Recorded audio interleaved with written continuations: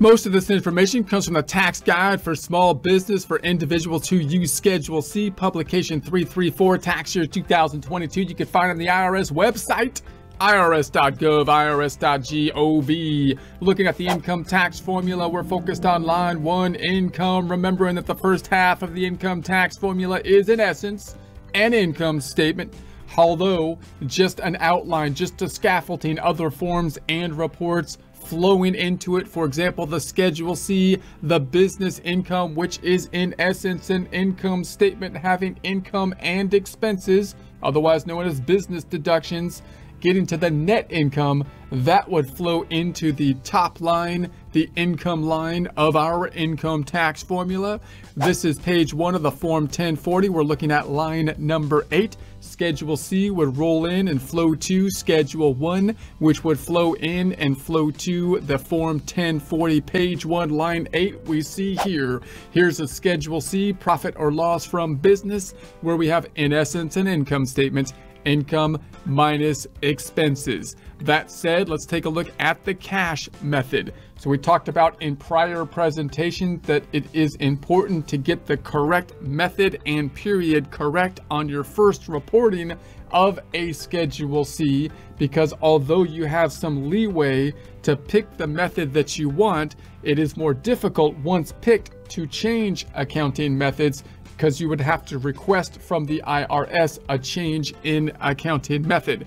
That is because the IRS wants consistency. So if you pick a cash-based method, they want you to stick with the cash-based method because if they allowed you to change from a cash-based method to an accrual-based method, you can start to manipulate the cutoff dates, which would start to manipulate your taxes.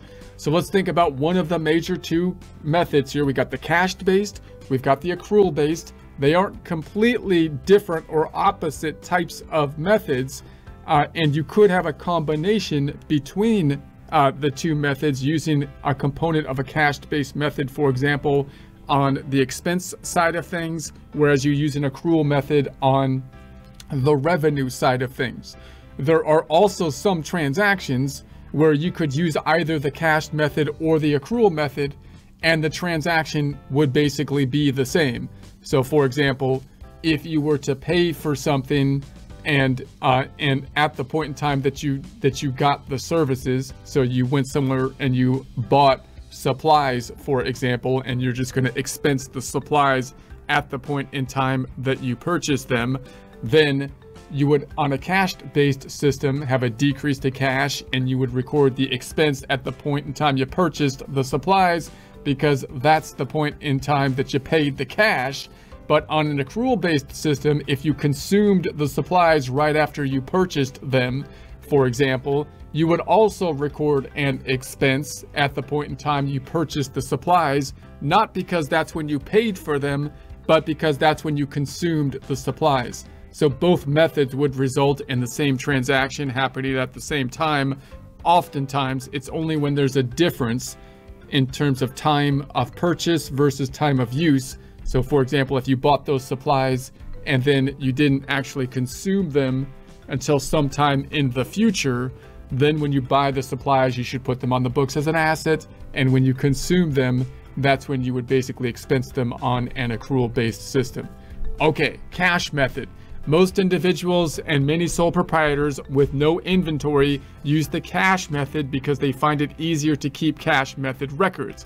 So if you have a small business and you, then the cash method is often an easier way to, to do the bookkeeping. And if you have accounting software, for example, it's getting easier and easier oftentimes to basically uh, construct your books from the actual bank information using like bank feeds and like a QuickBooks software, uh, for example.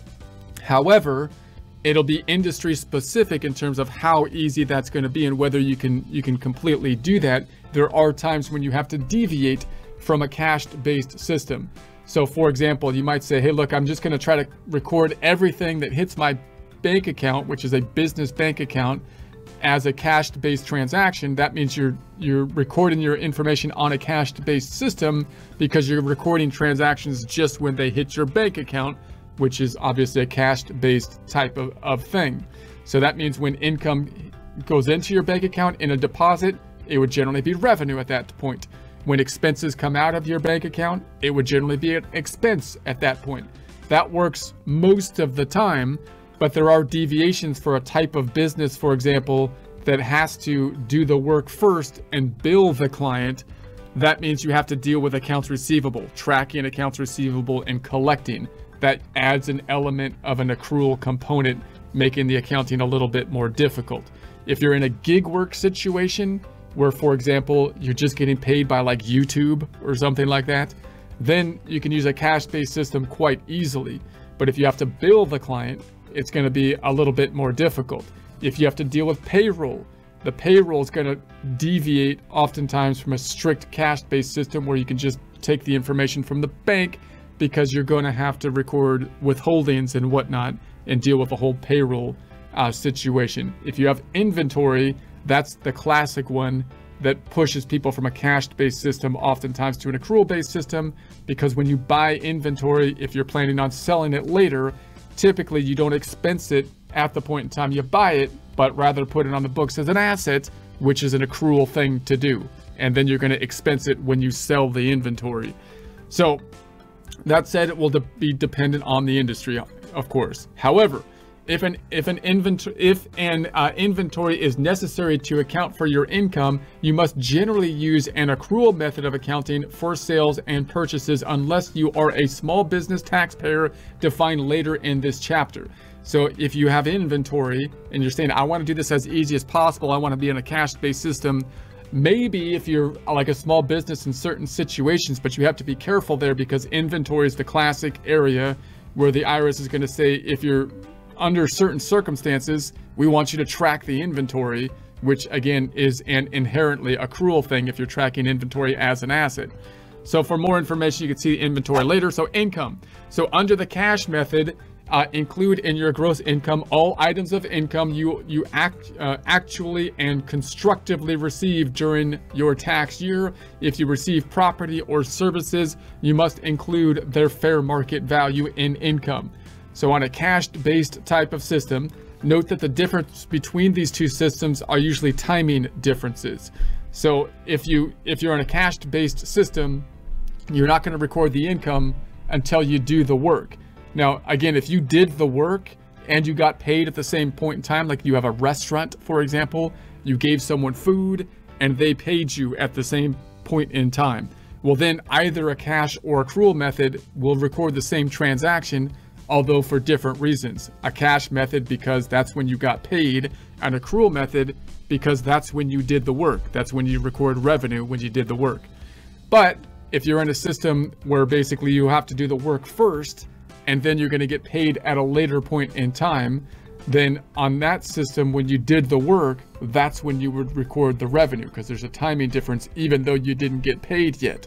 But then when you got paid, uh, then under an accrual method, that's not when you would record the revenue because you already recorded it before. You would just decrease the accounts receivable. On a cash method, you wouldn't record it until you actually uh, got the income is the general idea.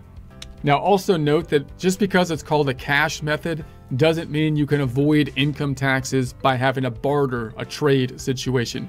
So if someone pays you in services, you give them food from the restaurant and they give you services for whatever their business is, that's still income and you have to record it on a cash-based system when you got paid, even though it's not going to hit your income account.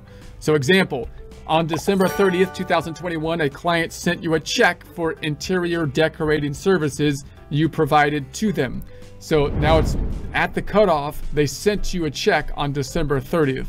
So now we're talking about, well, that's close to the end of the year. Uh, did I get the check? When do I have to include it in cash? So you receive the check on January 4th, 2022. You must include the amount of the check in income uh, in 2022. Why? Because you didn't actually get the check until 2022, even though they wrote the check in December 31st, 2021. Now that's a different situation if it was actually in the mail than you receiving the check, putting it in a drawer, and holding on to it for like a month or something like that because you don't want to record it as income until January in the next year. That's a different situation, right?